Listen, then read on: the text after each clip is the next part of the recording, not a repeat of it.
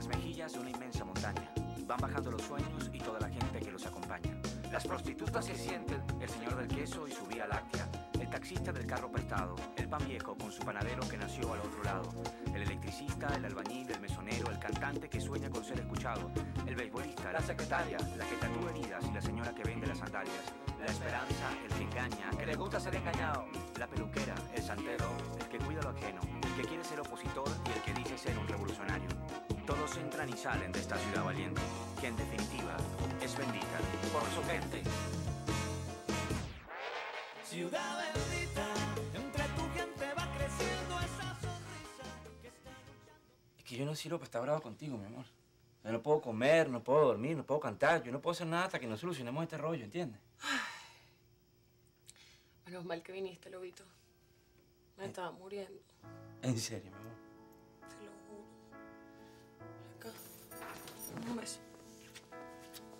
Hola, mi Ana.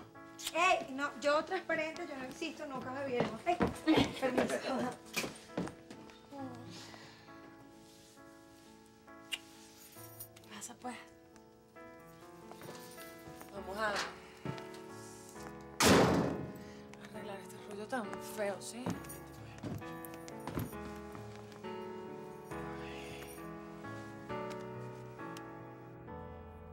Mire, ciudadana, usted no entiende español. O sea, no se puede quedar aquí. Mañana de 9 a 6, venga, vámonos. Ni se te ocurra tocarme, pan, ¿ok? ¿Qué ocurre, agente? Oh, diablura. Sabía que estabas aquí. Por supuesto, ¿acaso te lo han negado? Estaba reposando un poco, pero ya me disponía a volver a mis labores. Por favor, pasa adelante.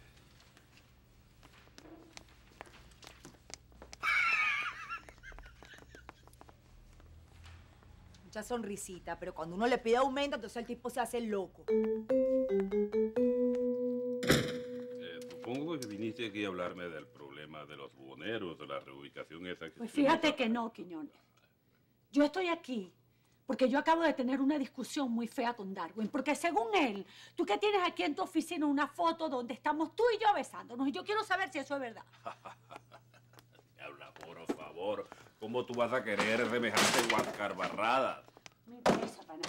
Me dijo que estaba en un portarretrato, que era... Debe ser este. Son difuminaciones de Darwin, por favor. ¿Quién es esta? Esa es mi señora madre perentoria de Quiñones. Sí, bueno, pero es que eh, él, él me dijo que... Él me dijo que era un portarretrato así, que... Y que era una, una foto donde estabas tú y... Y, y mi progesterona, señora madre, y yo, por supuesto. Él vino aquí registró todas esas cosas, lo dejó. Es un desastre, Darwin, por Dios, no sé qué le pasa. Pero, lo que pasa es que no entiendo, pana, porque el médico... Bueno, últimamente, chico, ¿qué estaba haciendo Darwin aquí? ¿Sabes a qué vino?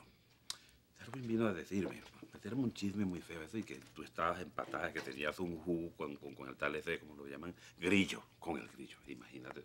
¿Qué? Pues sí, y ahora va, sea, te va con el cuento de que yo que tengo una foto tuya con nosotros dos besando. ¿Qué pasa, Deblura? ¿Qué le está pasando, Darwin? ¿Será que el Darwin se nos está volviendo loco? ¿Ah? ¿Será que la disfunción estéril esa lo está afectando al cerebro? ¿Será eso? ah? Primera vez que yo veo a la negra tan tranquila, ¿vale? Ella no es así.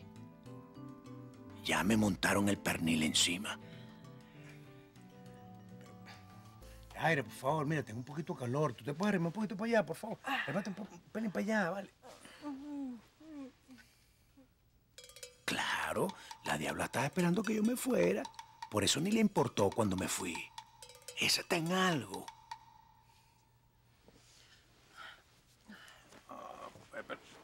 Ya, Aire, ya, Aire, por favor, que tú pesas, ¿sí? Gracias, ya. Y yo caí en la trampa de mamarracho que soy. Ahora debe andar de lo más feliz con Quiñones. Y yo creyendo que me la estoy comiendo. Ah, no.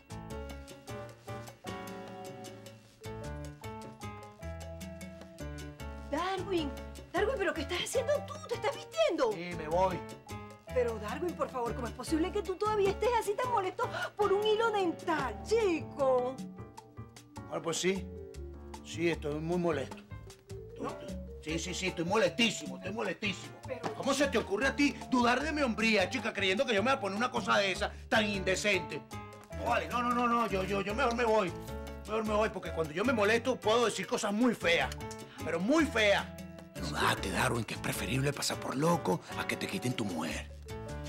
No, pero espérate, Darwin, Darwin, chico. Cayó el peso en toda la rodilla, chico, y eso fue lo primerito que me dijo. Ay, me dijo el médico que no hiciera, ¿vale? Bueno, chico, tú, tú, tú te vas a poner a hablar ahorita de tu rodilla. Hay cosas más importantes, ¿vale? Niñita, niñita, ¿Dónde estoy? estás aquí en la casa. Bueno, en mi parte de la casa. Pero bueno, no importa. Ahorita no vamos a hablar de eso, mi amor. ¿Cómo, cómo estás? ¿Es que te caíste redondita? Sí, redondita y caí, mira, me, me caíste con todo el peso en la rodilla, ¿vale? Y eso fue lo primerito que Pero me dijo el bueno, médico chico, que qué no fastidio hiciera, ¿vale? contigo y la rodilla. Ya, vale. Kenny Kenny. Chico, yo, yo no sé si, si lo soñé, si me lo imaginé, pero tú sabes que yo tengo la impresión de que tú a mí me pediste matrimonio. Sí, te lo pedí. Y hasta el anillo te traje. Bueno, yo se lo pedí prestado a mi hermana, ¿no? Y yo se lo tengo que devolver ahora, pero mira, yo te prometo que cuando yo cobre los tickets de alimentación, yo te voy a comprar uno verdadero. ¿Qué? ¿Pero tú estás oyendo eso, chica? Este no tiene ni con qué comprarte un, un pinche anillo. No puede ser, chico. ¿Cómo tú le pre- vas a pedir la, la mano a mi hermana, chico? ¿Tú no tienes dónde caerte muerto? Mire, un momentico, señor, etcétera. Yo gano poquito, pero yo le prometo que a ella nunca le va a faltar nada. No, pero ¿será que entonces te vas a poner a matraquear como hacen? Como hace tu amiga Barranco. ¿ah? Pues te equivocaste, porque Kenny G es, es un policía honesto. Tú de verdad me pediste matrimonio. Sí. Ay, chico, lo hice con un sentimiento. Quiero cubrirme de ti y reflejarme en tus ojos. Quiero llenar tus antojos. Es que lo que pasa, ¿cómo te explico? Yo estoy planificando mi, mi boda de hace mucho tiempo, de como que tenía cinco años, ¿entiendes? Y siempre soñé con, con una ceremonia grandotota, en una catedral antigua, por supuesto, con 17 metros de cola y con un príncipe azul como tú, por supuesto. O sea, nada más te falta. La cola, la rumba, los 500 invitados de la iglesia. Y, y el príncipe azul que se quiera casar.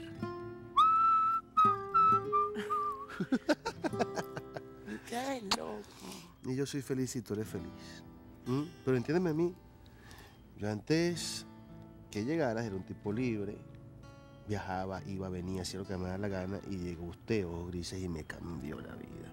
Y no me quejo, avisado. ¿m? No me quejo. Y yo sé que para ti ha sido mucho más difícil, que has renunciado a más cosas que yo. Bueno, y gané otras.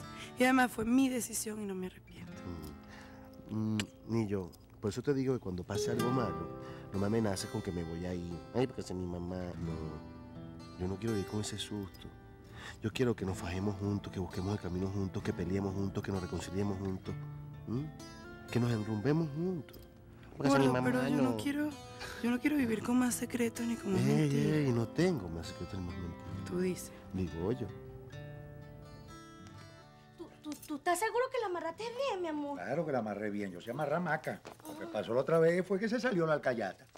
Dale, pues. Pero bueno, amarraste bien la callata. Sí, sí, la amarré bien y le puse viga, concreto y cabillas y todo, porque no es que tú seas una plumita. Ay, gracias por ese piropo, papito, mi rey. Ya va, Ya va, mi amor, que me estaba aplastando el brazo. Ya va, Ah, clavando el codo y no me dejas respirar. ya va, vale. Ay, No, te vaya, chico. no, no, que para allá, no, no, dale, así no puede ser. No, no puede ser. No, no, no, no me la calo. No me la calo. Yo necesito una cama dos por dos, como la he tenido yo siempre. Bueno, entonces, mi amor, va- vámonos para un hotelito, papi. No, hombre, qué hotelito, Beri. Además, ¿quién le va a abrir aquí que cuando llegue? Bueno.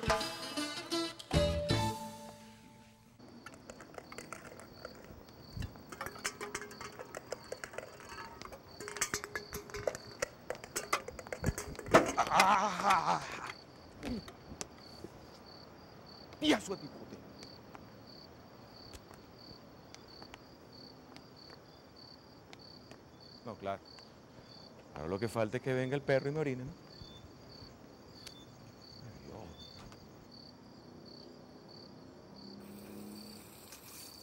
No, no, no, no, pero ¿qué fue, vale? Oye, entonces.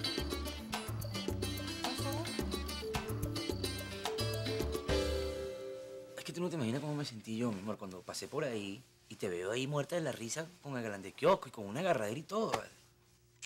No, tampoco una agarradera ahí que, que, Juan, no exageres. Oye, estoy exagerando, yo te vi, mi amor. Bueno, pero no es que andábamos con una agarradera, fue como un apretoncito así, como agradecimiento ¿Y y, qué tienes ya. que agradecerle tú a ese tipo, mi amor?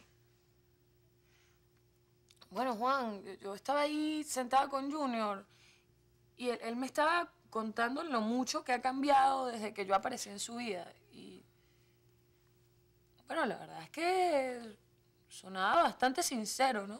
Tú sí eres brava, bendita sea. ¿Tú te creíste la muela del tipo, entonces? Sí, Y tú pretendes que yo no me ponga bravo, mi amor. sí. Pretendo. Porque Junior a mí me puede decir misa, pero con quien yo estoy es contigo. Ahora sí, te quiero decir algo. Yo al loco este posesivo que me estás presentando hoy no lo conocía. Lo tenías bien escondido adentro, ¿no? Lo que pasa es que a mí me da miedo, ¿entiendes? Porque para mí tenerte es un milagro, mi amor. Y yo no quiero que se rompa ese milagro.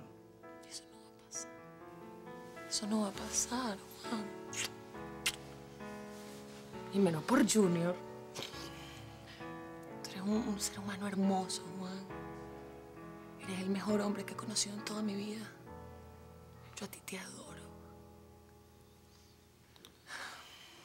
Pero yo no quiero que tú me decidas las amistades. O sea, que tú pretendes ser amiga de ese tipo. Bueno, por lo menos pretendo decidir eso yo. Si quiero ser o no ser amiga de Junior. ¿Mm? No quiero que lo- lo que me separe de él sea miedo a que a ti te dé un ataque de rabia o de celo. ¿Mm? O es que así van a ser las cosas entre nosotros, dímelo. Cuando te miro, nace el día y la distancia se hace corta para